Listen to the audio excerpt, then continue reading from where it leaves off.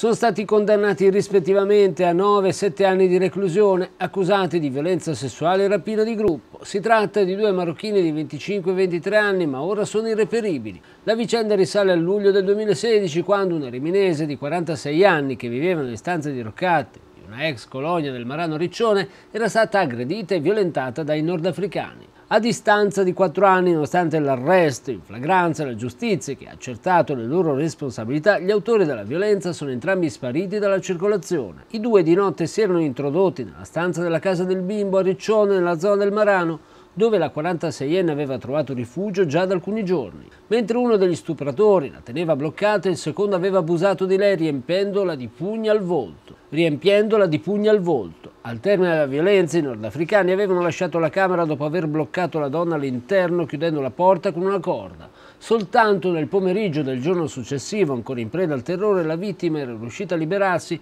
e a scendere in strada, dove col volto tupefatto e ancora sanguinante era stata notata alcuni passanti che hanno dato l'allarme. Sul posto era intervenuta l'ambulanza del 118 con i sanitari che, dopo averle prestato le prime cure, avevano trasportato la vittima al pronto soccorso e avvertito i carabinieri alla Perla Verde. I militari si erano messi alla ricerca dei due nordafricani e alla fine sono stati bloccati e portati in caserma, dove sono risultati essere entrambi clandestini. Nel corso del sopralluogo, i carabinieri di Riccione avevano repertato anche alcune tracce di sangue, mentre la vittima, che aveva riportato anche la frattura della mandibola, era stata sottoposta ad una visita maxillofacciale.